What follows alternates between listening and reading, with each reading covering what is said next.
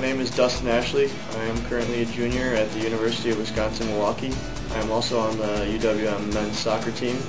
I plan on majoring in marketing. Um, I enjoy coming to Summit. Uh, my student's name is Nico. Uh, I've had a lot of interaction with uh, his mom and him, and I've really seen him progress over the last couple weeks that I've been working with him. Um, in the beginning, he was pretty timid and rather shy, and I think now we're really opening up and starting to get along and sharing a lot of similarities. And it's uh, it's been rewarding to see his progress that his mom has been sending me, and um, it's not necessarily all through about what I'm doing to enhance his academics, but he's also taking more pride in schoolwork and all that. I think Summit is unique.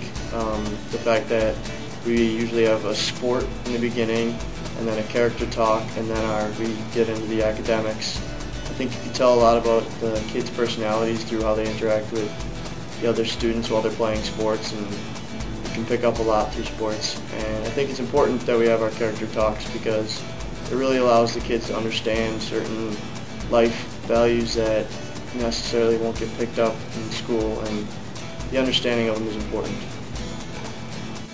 Hi, my name is Nico and I'm in sixth grade and I go to Fairview Charter School. Uh, being here at Summit has really helped me and improved my grades and made me a lot better at multiplication and division. And uh, I like like soccer and dodgeball.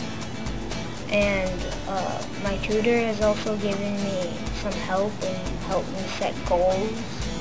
And that's also helped me with my grades a lot. And uh, I've been here for like a lot. It's a great place to help you learn.